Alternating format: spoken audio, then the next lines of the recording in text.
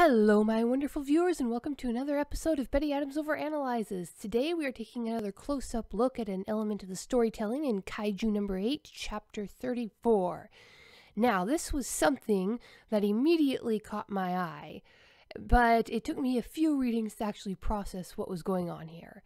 Now, the opening scenes of chapter 34 are our beloved Quattro of uh, I can't remember all their names. It's Reno and Iharu and the really buff ex-military dude and the and the rich boy whose dad makes the suits.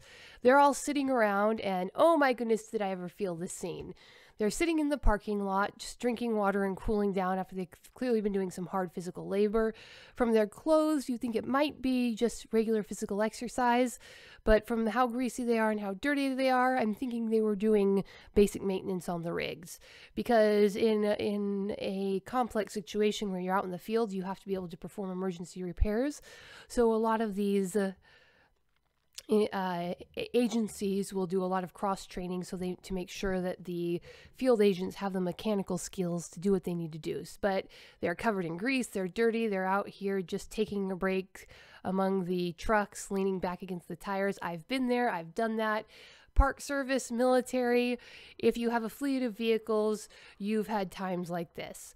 And they are just shocked. They're shook uh, they're processing what happened. They're processing losing Kafka, who they who they were actually all pretty close with.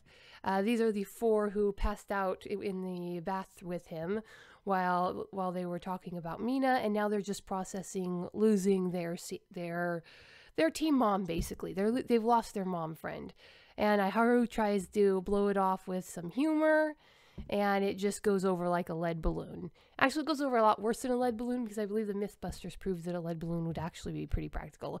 But anyway, so now my biggest quibble with the Defense Force as an institution. Now, not with how it's written. It's written beautifully and it's written with all of the usual flaws that any large institution has. Was that there really did appear to be a lack of cross training, where you take someone from one division and put them in another division to train them. The Defense Force, at least the third division that we've seen, has seemed to be pretty insular. Everybody's highly specialized, everybody stays in their lane. Mina has the giant ca- cannon and fires it. And the fact that she even brought in a blade specialist to complement her was seen as something highly unusual.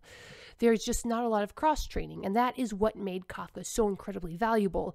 He had not gone through the highly specialized force of specializing down till he knows basically everything about nothing. He had been been out in the world, he'd gotten real life work experience. Now, this is something that the universities in, in the United States, I don't know about universities elsewhere, but I assume so, are really starting to internalize. Life experience and a generalized practical knowledge are super critical to be able to do your specialized job very well. So that's what that is what why I had seen it was so logical for Kafka to be so valuable. And it wasn't just a story device or a plot device that made him so valuable to the team. He brought that generalized knowledge, that generalization into an in- incredibly specialized force. And it's just in high risk jobs like this where you absolutely need to get the job done like the military you do get those extreme levels of specialization. And every single military all over the world has had to fight that natural tendency to specialize and increase to the generalization of the troops. And that's where the cross training comes in. So i had been thinking and you know when plotting my analysis in my head that was something i'd considered that this lack of cross training. But that's not the primary point of what this video is going to be about. So you have all of these guys moping around trying to process what's happened to them, the loss of their mom friend, and they get called in to the captain's office.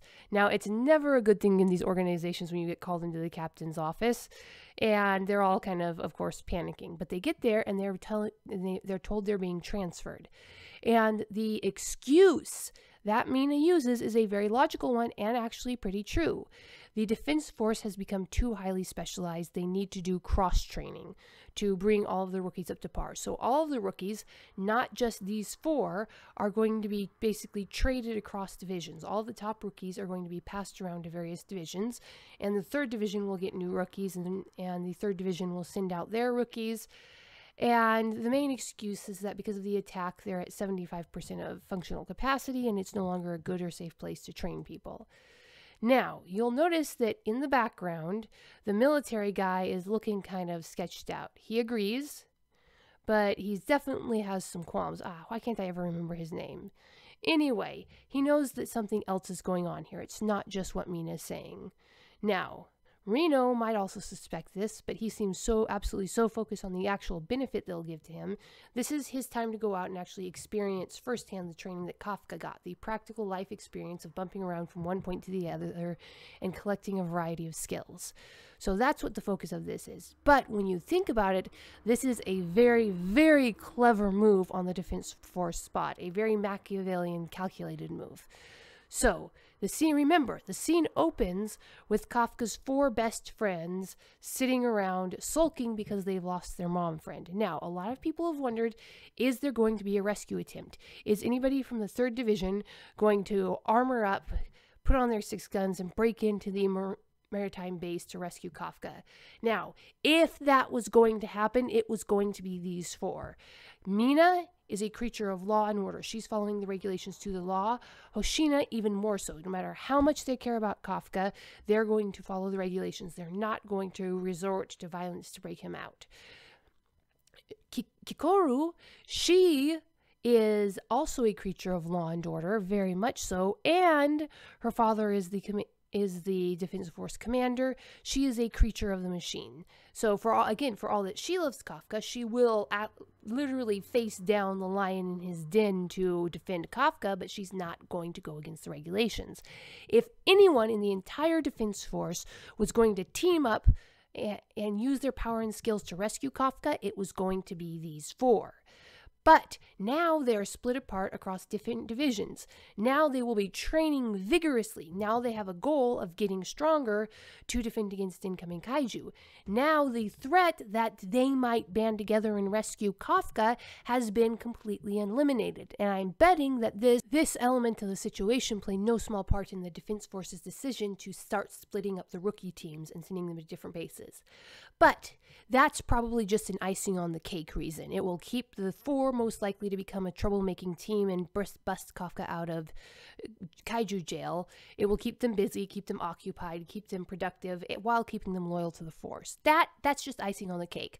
The real reason that the kaiju defense force is splitting up all the rookie teams is much darker and much more Machiavellian. Not their reasons for it, their reasons are perfectly logical and probably even wholesome, but the reason behind why they made that decision. Kafka, what is kaiju number eight. He has a he is completely undetectable as a kaiju in his human form. You have to know what you're looking for. Nobody who didn't know to be looking for a core would have recognized the core that was hiding his, uh, around his heart. So you you have one kaiju that can completely disguise itself as a, as a human as far as they're concerned. And there's no way to tell he's a kaiju unless he reveals himself willingly, like Kafka did. Now, Kafka was absolutely 100% willing to reveal himself, but Kafka is an exceptional is an exceptional person. There could very well be other people in the exact same position as Kafka. We don't know that Kafka is the only transforming kaiju, and the Defense Force base doesn't know it either but they think they can narrow it down to the new batch of recruits. Every single recruit who came in this year has the potential to be a kaiju just as powerful as kaiju number 8 and has the greater potential to not belong be in a human body as honorable as Kafka's.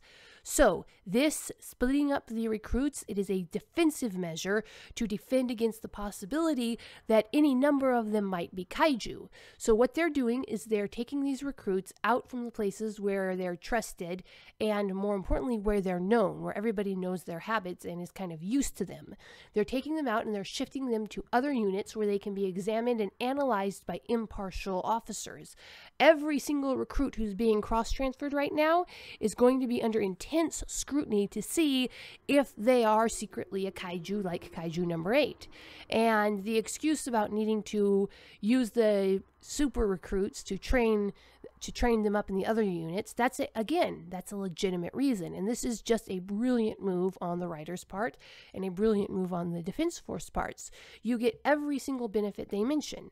The top recruits will get that cross training that is so obviously lacking in the Defense Force. The various units will have the benefit of getting these highly trained super recruits training with them and driving them forward and inspiring them for the time that they're there, they will be able to determine, or at least they hope, they stand a much better chance of determining if any of the new recruits are kaiju once they're separated from the people who've just grown used to them and put under scrutiny from impartial observers. And most importantly, to us poor broken-hearted fans, the four recruits who are most likely to have gone rogue and rescued Kafka are split up so they don't have each other's support. They are utterly focused on their training and they are far away from wherever Kafka is. So, that is why that opening that opening set of pages for the for chapter 34 was just brilliant on the creator's part. And I am so looking forward to seeing where they go with this. Do, will they address it or will it just constantly be one of the background bits of world building? And from our also a benefit from our point of view is that we get to see all of the rest of these Defense Force divisions from the perspective of our beloved characters. Now, here's another thing. This suggests a much longer timeline for Kafka being incarcerated than any of us are quite content with or will be happy with because we're going to see training montages for all four of those characters for Reno, Iharu, and uh, Hot Military Guy and Hot Rich Boy. Anyway, so that means that Kafka is going to be stuck in the maritime base for a lot longer than any of us are going to be happy with being experimented on and who knows what. Anyway, so if you are looking for something to fill the next seven days before the next chapter comes out, go down to the links below and check out my book, Humans Are Weird. I have the data. What would our little green friends think of us?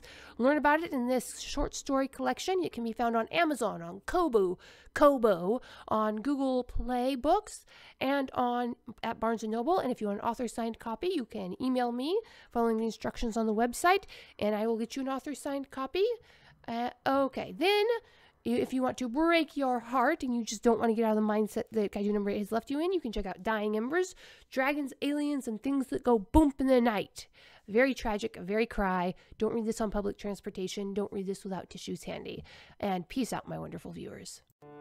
The book from author Betty Adams, Humans Are Weird, I Have the Data, is a humorous look at human behavior through the eyes of aliens. This book is arranged in separate reports or essays, documenting the experiences with humanity through the lens of the aliens who have to interact with them. This anthology of short stories and vignettes from alien points of view highlights some of humanity's quirks we can all relate to. Author Betty Adams captures how strange and interesting humans can really be. This is a fun collection of stories you will really get a kick out of. Humans Are Weird I have the data from author Betty Adams. Order your copy right now on Amazon.